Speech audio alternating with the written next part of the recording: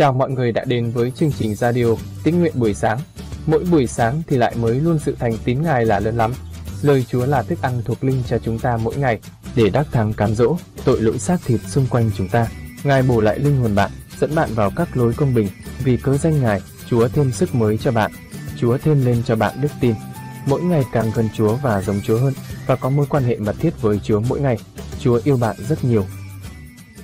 Chương 27 đây là số của những trưởng tộc của dân Israel, tức các quan tướng cai ngàn người và cai trăm người, và các quan trưởng của chúng vẫn phục sự vua, cai quản các bang thứ quanh năm, mỗi tháng thay nhau đi ra đi vào. Mỗi bang thứ số được hai vạn bốn ngàn người.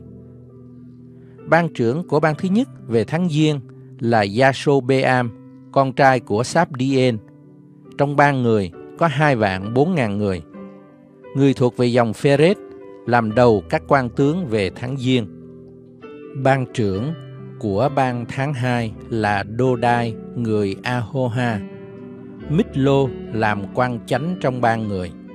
Ban người có hai vạn bốn ngàn người.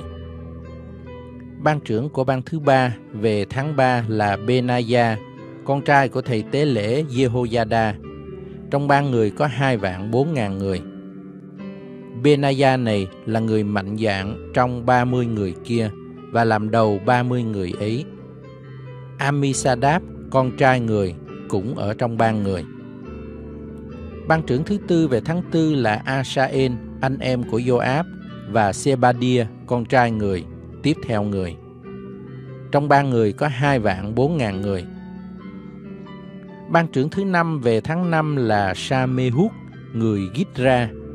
Trong ban người có hai vạn bốn ngàn người. Ban trưởng thứ sáu về tháng sáu là Ira, con trai Ike ở Thekoa. Trong ban người có hai vạn bốn ngàn người. Ban trưởng thứ bảy về tháng bảy là Helet, người chi phái Ephraim ở Phalon. Trong ban người có hai vạn bốn ngàn người. Ban trưởng thứ tám về tháng tám là Sibekai ở Husa, thuộc về dòng Serach. Trong ba người có hai vạn bốn ngàn người. Ban trưởng thứ 9 về tháng 9 là Abiese, người chi phái Benjamin ở Anatot. Trong ba người có hai vạn bốn ngàn người. Ban trưởng thứ 10 về tháng 10 là Maharai về dòng Serach ở Netopha. Trong ba người có hai vạn bốn ngàn người. Ban trưởng thứ 11 về tháng 11 là Benaya người chi phái Ephraim ở Phirathon. Trong ban người có hai vạn bốn ngàn người. Ban trưởng thứ 12 về tháng Chạp là Hiên Đai về dòng Otnien ở Netopha. Trong ban người có hai vạn bốn ngàn người. Đây là các người cai quản các chi phái Israel. Eliezer, con trai Siekri, cai quản người Ruben. Người cai quản người Simeon là Shephatia, con trai Maaka. Người cai quản chi phái Levi là Hasabia, con trai của Kemuel. Còn Sa đốc cai quản con cháu Aaron. Người cai quản Juda là Elihu, anh em của David. Người cai quản Isaka là Omri, con trai của Mikael. Người cai quản Sabulon là Yitmahia, con trai của Obadia. Người cai quản Nephtali là Jerimot, con trai của Arien. Người cai quản con cháu Ephraim là Ose, con trai của Asasia. Người cai quản nửa chi phái Manasseh là Joen, con trai Phedaya. Người cai quản nửa chi phái Manasseh tại xứ Galaad là Gido, con trai của Sachari. Người cai quản Benjamin là Yaasien, con trai Abne. Người cai quản Đan là Asaren, con trai của Jeroham. Ấy đó là các trưởng của các chi phái Israel. David không lấy số dân Israel từ 20 tuổi sắp xuống, bởi vì Đức Giê-hô-va có hứa rằng sẽ làm tăng lên Israel đông như sao trên trời. Joab, con trai của Seruya, khởi lấy số, nhưng không xong được. Vì cớ việc đó nên có cơn thạnh nộ giáng họa trên Israel, và số tu bổ ấy không nhập vào số của sử ký vua David. Atmavet, con trai Adien, cai các kho tàng của vua. Jonathan, con trai Uzziah, cai các kho tàng ở đồng ruộng, ở trong các thành phố, trong những làng và trong những đồn. Edri, con trai Kelub, cai các kẻ lo làm ruộng cày đất. Shimri, người Rama, coi sóc các vườn nho. Còn Sabdi, người Shepham, coi sóc kho rượu trong vườn nho. Ba anh Hanan, người Gede, coi sóc các cây olive và cây sung mọc trong các đồng bằng. Còn Joab coi sóc các kho dầu.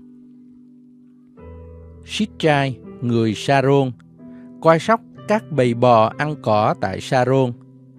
Còn Sa Phát, con trai Ác Lai, coi sóc các bầy bò ở trong trũng. Ubin, người Ismael, coi sóc các lạc đà. Dê-đia, người Meronot, coi sóc các lừa cái.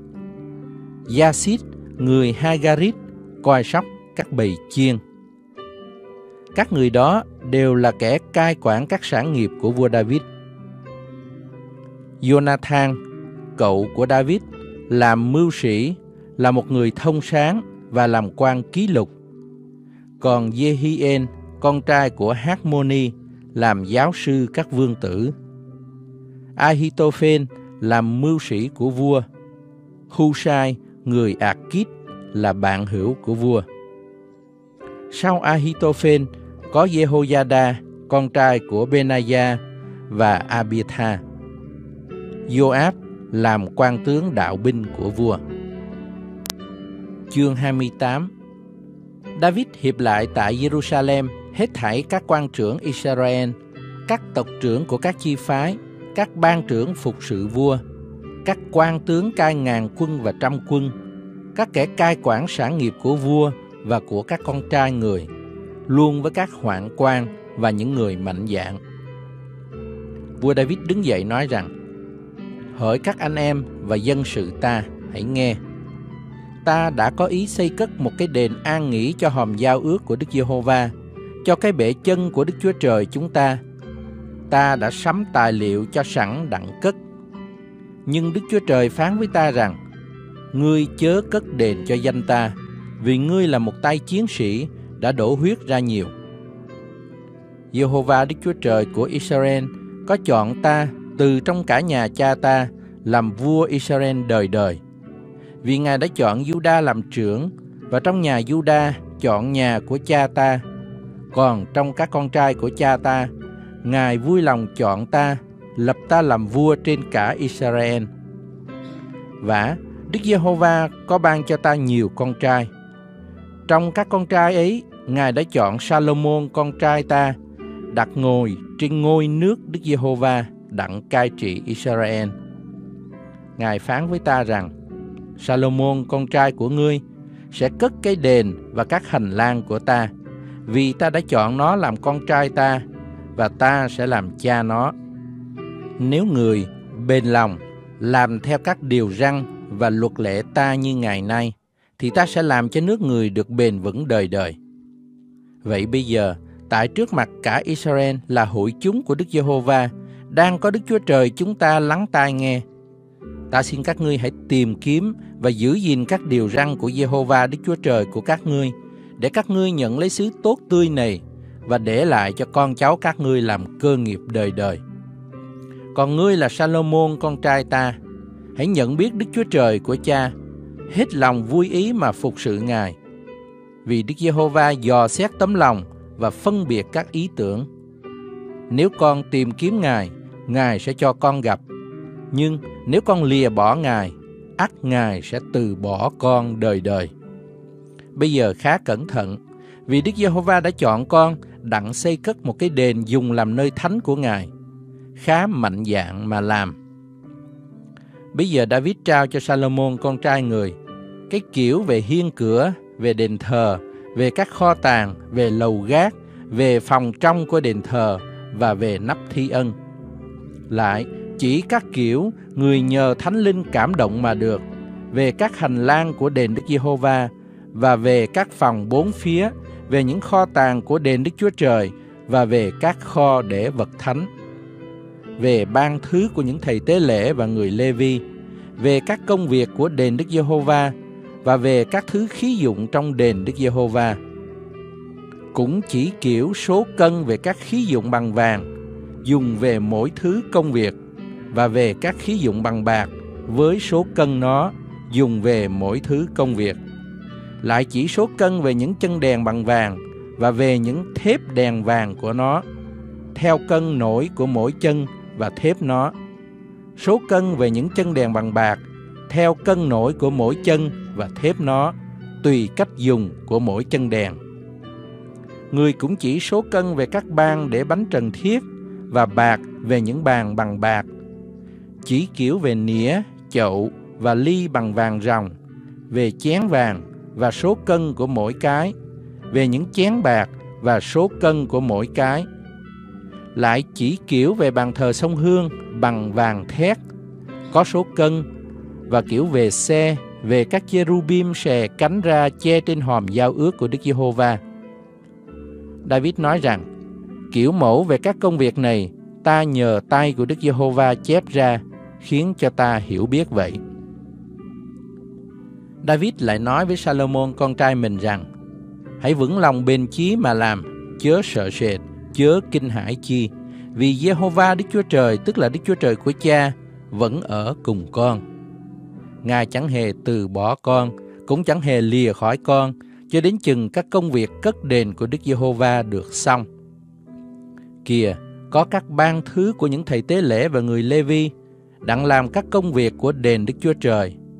Lại còn có những người vui ý, thông thạo về các nghề, đặng giúp làm mọi thứ công việc. Các quan trưởng và cả dân sự đều sẽ vâng theo mạng lệnh của con. Chương 29 David nói với cả hội chúng rằng Salomon con trai ta chỉ một mình con đó mà Đức Chúa Trời đã chọn hãy còn trẻ tuổi non nớt và công việc lại lớn lao vì cái đền đó chẳng phải cho loài người đâu bèn là cho Jehovah Đức Chúa Trời. Ta đã hết sức sắm cho đền của Đức Chúa Trời ta. Nào vàng dùng về đồ làm bằng vàng. Nào bạc dùng về đồ làm bằng bạc. Nào đồng dùng về đồ làm bằng đồng. Nào sắt dùng về đồ làm bằng sắt, nào gỗ dùng về đồ làm bằng gỗ. Lại sắm những ngọc bích, ngọc để khảm, ngọc chiếu sáng, ngọc đủ các màu và các thứ đá quý cùng đá cẩm thạch trắng rất nhiều. Lại, vì lòng ta yêu mến đền của Đức Chúa Trời, nên ngoại trừ số ta đã sắm cho đền thánh, ta cũng dâng cho đền của Đức Chúa Trời ta các đồ bằng vàng và bằng bạc thuộc riêng về ta, tức là ba ngàn ta lân vàng ô phia và bảy ngàn ta lân bạc thét, đặng dùng bọc các vách đền. Vàng dùng về những vật bằng vàng, bạc dùng về những vật bằng bạc và dùng về các việc làm bởi tay người thợ. Vậy ngày nay ai là người vui lòng dâng mình cho Đức Giê-hô-va?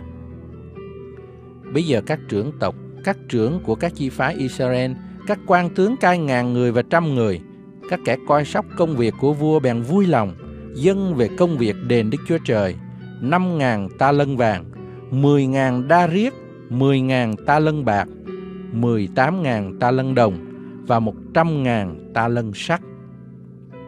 Phàm ai có đá quý thì giao cho Zehiên về dòng gạt sôn để dâng vào kho của Đức Giê-hô-va. Dân sự lấy làm vui mừng về điều mình trọn lòng vui ý dâng cho Đức Giê-hô-va và vua David cũng lấy làm vui mừng lắm. Tại trước mặt cả hội chúng, David chúc tạ Đức Giê-hô-va mà rằng: Hỡi Giê-hô-va Đức Chúa Trời của Israel, tổ phụ chúng tôi ôi, đáng chúc tạ Ngài cho đến đời đời vô cùng. Hỡi Đức Giê-hô-va, sự cao cả, quyền năng, vinh quang, toàn thắng và oai nghi đáng quy về Ngài vì muôn vật trên các tầng trời và dưới đất đều thuộc về Ngài. Đức Giê-hô-va ôi, nước thuộc về Ngài. Ngài được tôn cao làm chúa tể của muôn vật. hoặc sự giàu có hoặc sự vinh quang đều do Chúa mà đến và Chúa quản trị trên muôn vật. Quyền năng và thế lực ở nơi tay Chúa. Tay Chúa khiến cho được tôn trọng và ban sức mạnh cho mọi người. Bây giờ Đức Chúa Trời chúng tôi ơi, chúng tôi cảm tạ Chúa và ngợi khen danh vinh hiển của Ngài. Nhưng tôi là ai và dân sự tôi là gì mà chúng tôi có sức dân cách vui lòng như vậy? Vì mọi vật đều do nơi Chúa mà đến và những vật chúng tôi đã dâng cho Chúa chẳng qua là đã thuộc về Chúa. Vì chúng tôi tại trước mặt Chúa vốn là kẻ lạ và kẻ ở đậu như các tổ phụ chúng tôi. Các ngày chúng tôi tại trên đất khác nào cái bóng không mong ở lâu được. Hỡi Jehovah Đức Chúa Trời chúng tôi ơi, các vật này mà chúng tôi đã sắm sửa, đã cất đền cho danh thánh của Chúa, đều do nơi tay Chúa mà đến, và thảy đều thuộc về Chúa. Ôi Đức Chúa Trời tôi, tôi biết rằng Chúa dò xét lòng người ta, và Chúa vui vẻ về sự ngay thẳng. Về phần tôi, tôi cứ theo sự ngay thẳng của lòng tôi mà vui lòng dâng các vật này. Và bây giờ, tôi lấy làm vui mừng mà thấy dân sự Chúa ở đây cũng có dâng cho Chúa cách vui lòng. Hỡi Jehovah Đức Chúa Trời của Abraham, của Isaac và của Israel, tổ phụ của chúng tôi ơi, xin hãy cho dân sự Chúa giữ luôn luôn một tâm ý ấy trong lòng và làm cho lòng chúng chiều theo về Chúa. Xin Chúa hãy ban cho Salomon con trai tôi một lòng trọn vẹn để gìn giữ các điều răn, chứng cớ và luật lệ của Chúa, cùng làm cho các công việc này xây cất cái đền mà tôi đã sắm sửa tài liệu cho. David nói với cả hội chúng rằng, Hãy chúc tạ Jehovah Đức Chúa Trời của các ngươi. Cả hội chúng bèn chúc tạ Jehovah Đức Chúa Trời của tổ phụ mình, cúi đầu xuống mà thờ lại Đức Giê-hô-va và lại vua. Qua ngày sau, chúng dâng những tế lễ cho Đức Giê-hô-va và dâng những của lễ thiêu cho Đức Giê-hô-va. Một ngàn con bò đực, một ngàn con chiên đực, một ngàn con chiên con cùng các lễ quán cặp theo và nhiều của tế lễ khác vì cả dân Israel. Trong ngày ấy, chúng ăn uống rất vui mừng tại trước mặt Đức Giê-hô-va. Chúng lần thứ nhì tôn Salomon, con trai David, làm vua và nhân Đức Giê-hô-va sức dầu cho người làm vua Chúa và lập Sa-đốc làm thầy tế lễ. Bây giờ, Salomon ngồi lên trên ngôi của Đức Giê-hô-va, làm vua thế cho David cha người và người được hưng thạnh. Cả Israel đều vâng theo mạng người. Các quan trưởng và người mạnh dạn luôn với các con trai của vua David đều phục tùng vua Salomon. Đức Giê-hô-va khiến cho Salomon được rất cao trọng tại trước mặt cả Israel và ban cho người được oai nghiêm, đến đổi trong Israel chẳng có một vua nào trước người được như vậy. David, con trai Isai, cai trị trên cả Israel. Người cai trị trên Israel 40 năm. Tại Hebron, người cai trị 7 năm.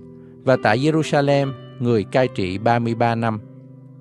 Người băng hà, tuổi cao, thỏa nguyện về đời mình, về sự giàu có và về vinh hiển. Salomon con trai người cai trị thế cho người.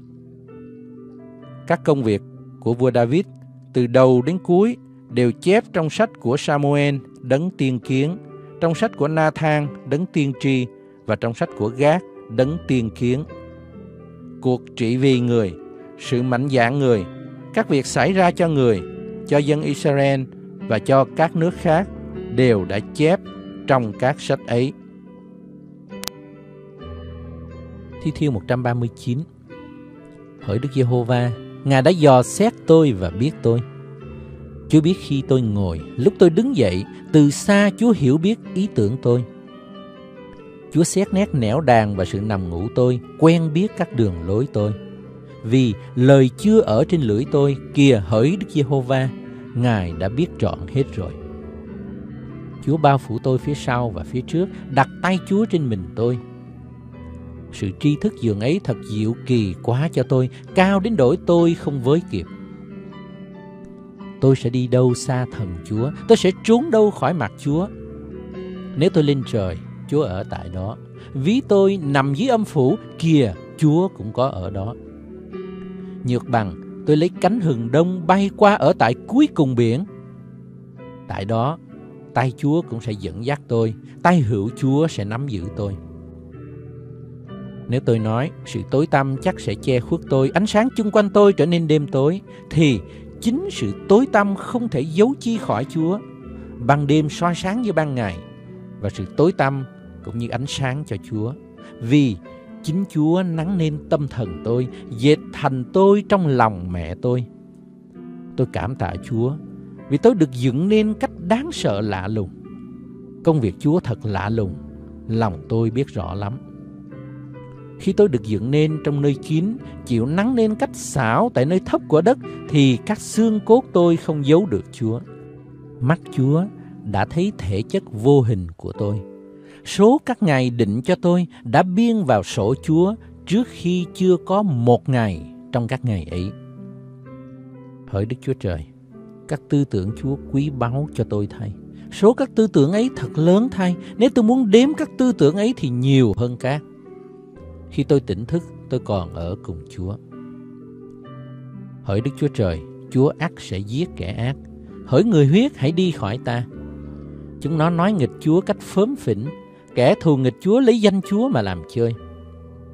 Hỡi Đức Giê-hô-va, tôi há chẳng ghét những kẻ ghét Chúa ư, há chẳng gớm ghét những kẻ dối nghịch Chúa sao? Tôi ghét chúng nó thật là ghét, cầm chúng nó bằng kẻ thù nghịch tôi. Đức Chúa Trời ơi, xin hãy tra xét tôi và biết lòng tôi. Hãy thử thách tôi và biết tư tưởng tôi. Xin xem thử tôi có lối ác nào chăng. Xin dắt tôi vào con đường đời đời. Chương 10 Đức Chúa Giêsu gọi 12 môn đồ đến, ban quyền phép trừ tà ma và chữa các thứ tật bệnh. Tên 12 sứ đồ như sau này. Sứ đồ thứ nhất là Simon, cũng gọi là Phi-a-rơ, và Andre là em người. Gia cơ, con của CBD, và Giăng là em Gia cơ. Philip cùng Barthélemy, Thomas và Matthew là người thâu thuế. Gia cơ con của A Phê cùng Thade. Simon là người Canaan cùng Judas Iscariot là kẻ phản Đức Chúa Giêsu. Ấy đó là 12 sứ đồ Đức Chúa Giêsu sai đi và có truyền rằng đừng đi đến dân ngoại, cũng đừng vào một thành nào của dân Samari, song thà đi đến cùng những con chiên lạc mất của nhà Israel. Khi đi đàn, hãy rao giảng rằng nước thiên đàng gần rồi. Hãy chữa lành kẻ đau, khiến sống kẻ chết, làm sạch kẻ phun và trừ các quỷ. Các ngươi đã được lãnh không thì hãy cho không. Đừng đem vàng hoặc bạc hoặc tiền trong lưng các ngươi. Cũng đừng đem cái bao đi đường hoặc hai áo hoặc giày hoặc gậy vì người làm việc đáng được đồ ăn. Các ngươi vào thành nào hay là làng nào, hãy hỏi thăm ai là người đáng tiếp rước mình rồi ở nhà họ cho đến lúc đi. Và khi vào nhà nào, hãy cầu bình an cho nhà ấy. Nếu nhà đã xứng đáng, thì sự bình an các ngươi xuống cho. Bằng không, thì sự bình an các ngươi trở về các ngươi. Nếu ai không tiếp rước, không nghe lời các ngươi, khi ra khỏi nhà đó hay là thành đó, hãy phủi bụi đã dính chân các ngươi. Quả thật, ta nói cùng các ngươi, Đến ngày phán xét thì xứ Sodom và xứ Gomorrah sẽ chịu đoán phạt nhẹ hơn thành ấy. Kìa, ta sai các ngươi đi khác nào như chiên vào giữa bầy muôn sói. Vậy hãy khôn khéo như rắn, đơn sơ như chim bồ câu. Hãy coi chừng người ta, vì họ sẽ nộp các ngươi trước tòa án đánh đòn các ngươi trong nhà hội. Lại, vì cớ ta mà các ngươi sẽ bị giải đến trước mặt các quan tổng đốc và các vua để làm chứng trước mặt họ và các dân ngoại. Xong, khi họ sẽ đem nộp các ngươi, thì chớ lo về cách nói làm sao hoặc nói lời gì, vì những lời đáng nói sẽ chỉ cho các ngươi chính trong giờ đó.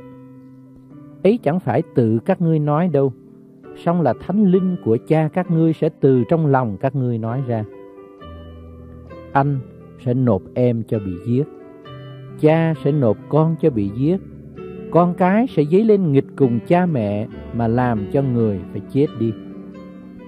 Các ngươi lại sẽ bị thiên hạ ghen ghét vì danh ta. Song ai bền lòng cho đến cuối cùng thì sẽ được rỗi. Khi nào người ta bắt bớ các ngươi trong thành này thì hãy trốn qua thành kia. Vì ta nói thật, các ngươi đi chưa khắp các thành dân Israel thì con người đã đến rồi.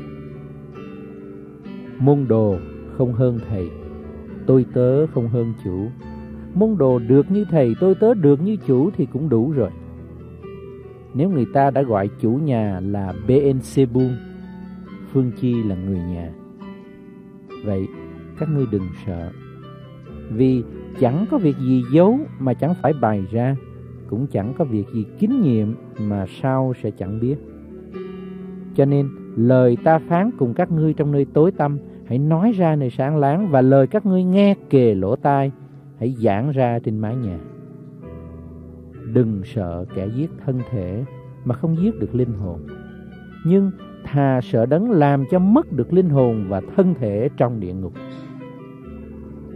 Hai con chim sẻ há chẳng từng bị bán một đồng tiền sao? Và ví không theo ý muốn cha các ngươi thì chẳng hề một con nào rơi xuống đất. Tóc trên đầu các ngươi cũng đã đếm hết rồi. Vậy đừng sợ chi hết, vì các ngươi quý trọng hơn nhiều con chim sẻ. Bởi đó, ai xưng ta ra trước mặt thiên hạ, thì ta cũng sẽ xưng họ trước mặt cha ta ở trên trời. Còn ai chối ta trước mặt thiên hạ, thì ta cũng sẽ chối họ trước mặt cha ta ở trên trời. Chớ tưởng rằng ta đến để đem sự bình an cho thế gian. Ta đến không phải đem sự bình an mà là đem gươm giáo. Ta đến để phân rẽ con trai với cha, con gái với mẹ, dâu với bà gia.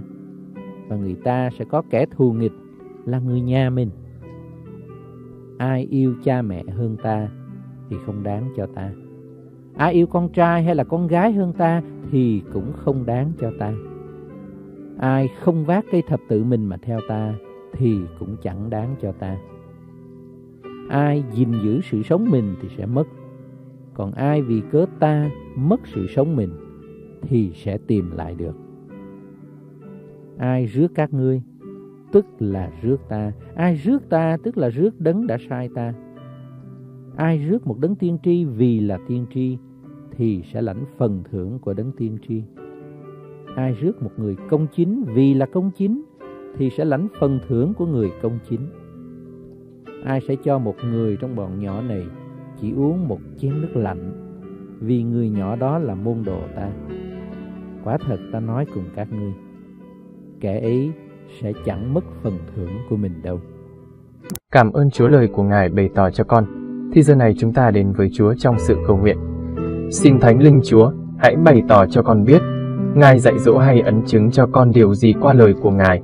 Xin lời của Ngài được linh hồn con ăn nuốt vào trong tấm lòng và tâm trí của con mỗi ngày thêm lên lời của Ngài, để linh hồn con được tăng trưởng, thêm lên đức tin đặt để nơi Ngài.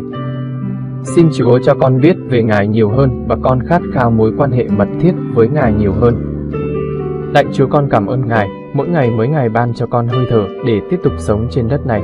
Con nguyện huyết báo của Chúa Giêsu Christ thanh tẩy, tẩy sạch, bôi xóa những suy nghĩ, tư tưởng, hành động trong tâm trí, trong tấm lòng của con như ấy là gian dâm, ô uế, lung tuồng, thờ hình tượng, phù phép, thù oán, tranh đấu, ghen ghét, buồn, giận, cãi lẫy, mất bình, bè đảng, ganh gổ, say xưa, mê ăn uống, cùng các sự khác giống như vậy. Con nguyện xin dòng huyết báo của Ngài tẩy sạch bôi xóa sự xác thịt của con không đẹp lòng Ngài ra khỏi con ngay giờ này. Bây giờ con được thánh sạch đứng trước mặt Ngài. Con nguyện Thánh Linh Đức Chúa trời đổ đầy, đầy dẫy con Chúa ơi, những bông trái của Thánh Linh, ấy là lòng yêu thương, sự vui mừng, bình an nhịn nhục, nhân từ, hiền lành, trung tín, mềm mại, tiết độ đầy dẫy trên con. Con xin Chúa thêm sức mới, thêm đức tin cho con. Xin Chúa dẫn dắt con để con đắc thắng một ngày mới trong ngày. Con cảm ơn Chúa, con dâng mọi vinh hiển tôn quý lên ba ngôi Đức Chúa trời toàn năng và phước hạnh con nhận lãnh từ nơi Ngài. Và con thành kính dâng lên cha lời cầu nguyện trong danh Chúa Giêsu Christ. Amen. Cảm ơn bạn đã nghe chương trình Tĩnh Nguyện Radio buổi sáng. Bạn ủng hộ chương trình bằng cách like, chia sẻ chương trình tĩnh nguyện rộng rãi trên mạng Internet cộng đồng. Cảm ơn bạn. Hẹn bạn tĩnh nguyện tiếp theo. Chúa yêu bạn rất nhiều.